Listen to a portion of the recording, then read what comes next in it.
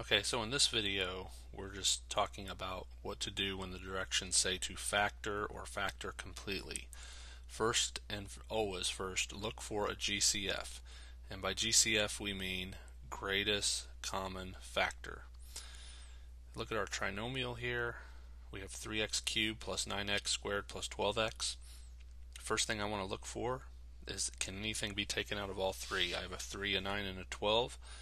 And so yes, we can take out a 3 from each of those terms. Looking at the variable term, we also have x cubed, x squared, and x. Just by saying it out loud, you hear what's in common in x. So we will factor out or divide out a 3x from each term. And what we have left with is x squared plus 3x plus 4. So when it says to factor or factor completely, always look for the GCF first.